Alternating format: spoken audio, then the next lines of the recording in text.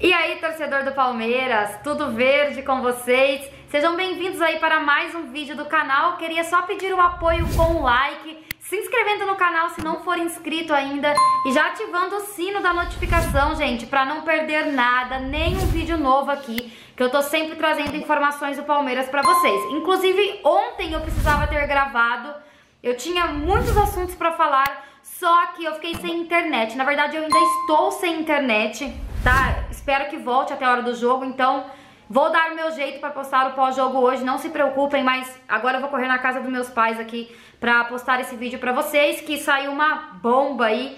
Eu não poder, poderia deixar de comentar sobre esse assunto.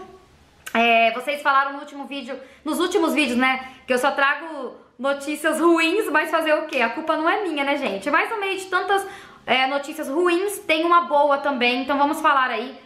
É, vou começar falando sobre o interesse do, do Grêmio por alguns jogadores do Palmeiras, inclusive o próprio diretor executivo do Grêmio falou sobre isso, tá? Ele deu uma entrevista para Fox e disse que o Diogo Barbosa foi o único que teve contato, né? Que realmente ele, eles avisaram ao Palmeiras que tinha interesse nesse jogador. Eles acham que o, que o Diogo Barbosa é um jogador que tem potencial, segundo eles, então, por mim, poderia levar para ontem, né? Tudo bem, vocês vão me dizer, Cássia, o Diogo Barbosa deu uma melhoradinha nos últimos jogos. Realmente deu, mas a gente vem reclamando dele desde o ano passado, então é um jogador que não dá para contar sempre, né?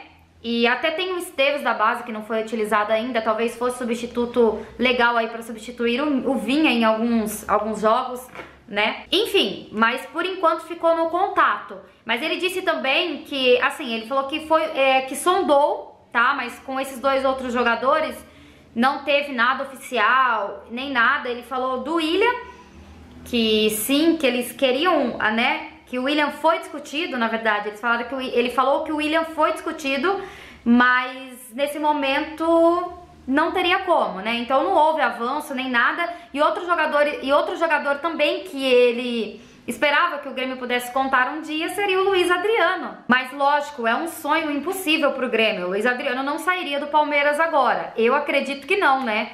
Muito menos é, por empréstimo, que eu acredito que é, o, o modelo de negócio ali que o Grêmio queria fazer com o Palmeiras, eu acredito que seja empréstimo. Eu duvido que, ele iria, que eles iriam desembolsar grana aí para comprar o William, Diogo Barbosa, Luiz Adriano, enfim. Então só ficou mesmo é, na vontade, vamos dizer assim. Diogo Barbosa ainda pode acontecer algo, mas esses dois jogadores ficou apenas no interesse mesmo, belezinha?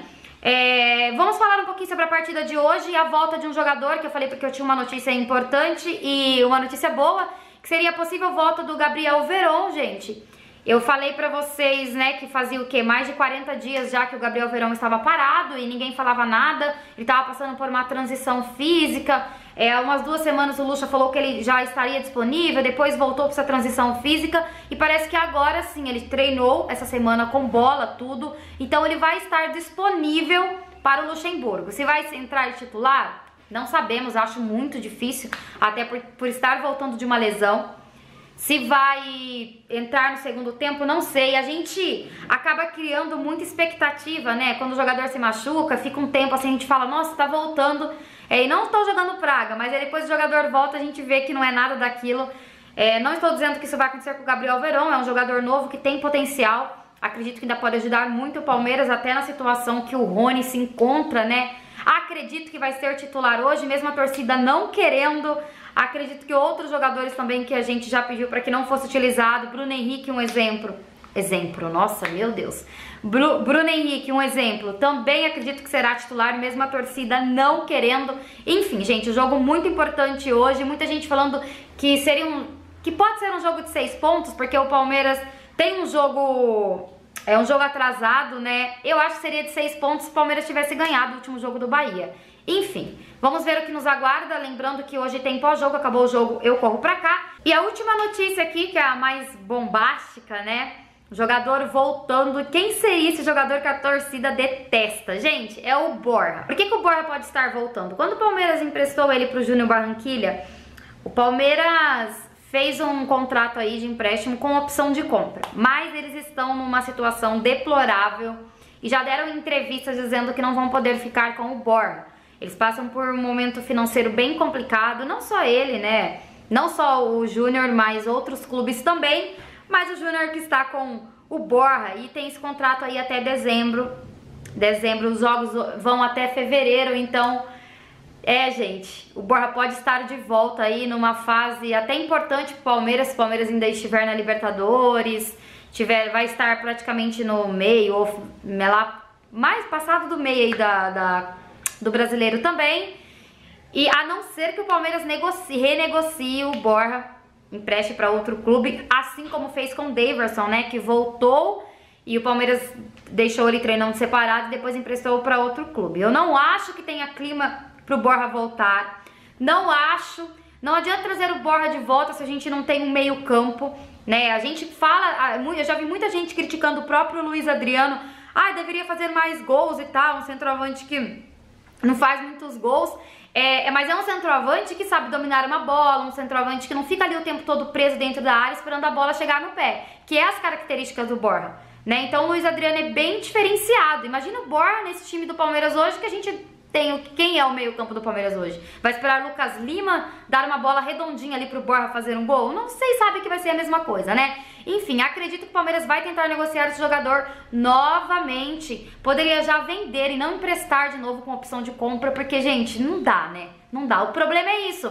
É apesar de que eu ia falar o problema, mas apesar de que ele tava fazendo uma boa temporada lá. Mas eu não sei o que acontece quando o jogador vem pro Palmeiras. Não sei se é técnico, não sei se é o, re, o restante do jogador, dos jogadores do Palmeiras que não ajuda.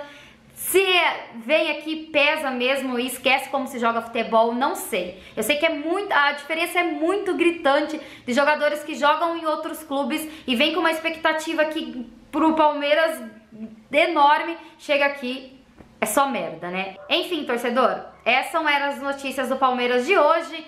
Como eu disse, tem Palmeiras e Inter hoje, jogo em casa.